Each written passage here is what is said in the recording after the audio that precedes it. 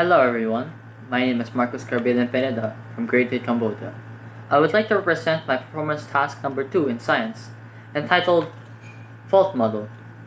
Let us start with the normal fault. And now let's start with the questions. Number 1. Which way did point B move relative to point A? As you can see, point B shifted down, shifted to the same level as point A. Let's proceed to number 2. What is what happened to rock layers X, Y, and Z? Are the rock layers still continuous? As you can see, when point B shifted to the same level point A, as you can see here, point K, behind here, also shifted to the same level point J, right here. Half of the ground moved moved down this side, and left and the left side moved up, causing X, Y, and Z to be misplaced. And also and also the rock layer are not also the also the rock layer are not continuous since the rock layers have, have now shifted. Let's proceed to number three. What likely happened to the river, the road, and the railroad tracks? Is this is this type of fault by tension compression, tension compression, or shearing? Well, the river may may, beca- may become a waterfall facing the right side of the railroad, and road is cut in half and moved down. And both are not continuous since the points K and B are down or moved down. Sorry. This type of fault is caused by tension. Let's proceed to reverse fault or thrust fault.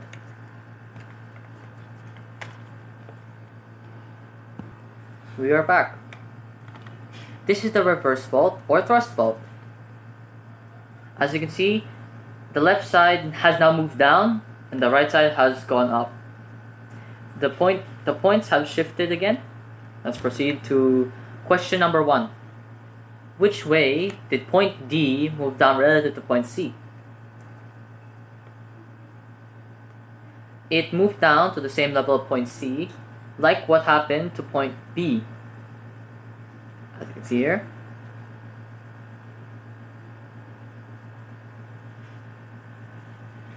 What happened to rock layers X, Y, and Z? Are, are the rock layers still continuous? When as same as the normal fault, when point D shifted to the same level point C, point I also shifted to the same level of point H. Here is point I and H. Here is point B and C. Half of the ground moved down and the right side moved up, as you can see, right here. The right side moved up and the left side moved down. Moved up causing points C, X, Y, and Z to be misplaced. And again, as same as the normal fault, the rock layers are no long are no longer continuous. Let's proceed to question number two. Sorry, number three. What likely happened to the river, the road, and the railroad tracks? Is this type of fault caused by tension, compression, or shearing? Just like the normal fault, the river may become a waterfall and facing the left side of the railroad left side. The railroad and road is cut in half and moved down, and both are not continuous since the points I and D move down. This type of fault is compression. Now let's proceed to the fault transform fault or strike slip fault. Now we are back. Once again, the fault model has changed and it looks like this now. This is called the transform or strike slip fault. Let's proceed to question number one. If you were standing to point at at point F and looking across the fault, which way did the block on the opposite side move? As you can see here, it moved it moved west. Let's proceed to question number two. What happened to rock layers X, Y, and Z? Are the rock layer are the rock layers still continuous?